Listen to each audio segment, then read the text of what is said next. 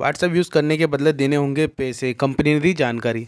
तो हाँ दोस्तों, कैसे हैं आप सब? आपके लिए ला चुका हूँ व्हाट्सअप की तरफ़ से निकलती हुई लेटेस्ट न्यूज़ दोस्तों। आज की वीडियो में आपको पूरा बताऊँगा मैं कि हाँ भैया व्हाट्सअप पैसे लेगा और किन किन यूज़र से व्हाट्सअप पैसे लेने वाला है।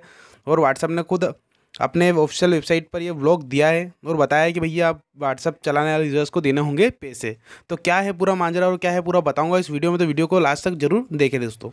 व्हाट्सअप के दुनिया भर में करोड़ों यूज़र्स हैं और यह सबसे पॉपुलर मैसेजिंग प्लेटफॉर्म है। फेसबुक की ओनरशिप वाले व्हाट्सएप मैसेजिंग प्लेटफॉर्म का इस्तेमाल करने के लिए यूज़र्स को देने पड़ सकते हैं पैसे। कंपनी ने और की ओर से एक ऑफिशियल ब्लॉग पोस्ट में इसकी जानकारी दी गई है। तो दोस्तों ज़्यादा परेशान होने की ज़रूरत नहीं है। हालाँकि एक अच्छी खबर भी है कि व्हाट्सअप ये पैसे सभी यूज़र से नहीं लेगा। व्हाट्सअप सिर्फ़ उन्हीं यूज़र से पैसे लेगा जो आने वाले व्हाट्सअप के एक नया फीचर आने वाला है, जिसका नाम है व्हाट्सअप बिज़नेस जो व्हाट्सअप बिज़नेस को यूज़ करेगा और व्हाट्सअप बिज़नेस पर अपना बिज़नेस करेगा, सिर्फ़ उसी को ये चार्ज देना पड़ेगा दोस्तों।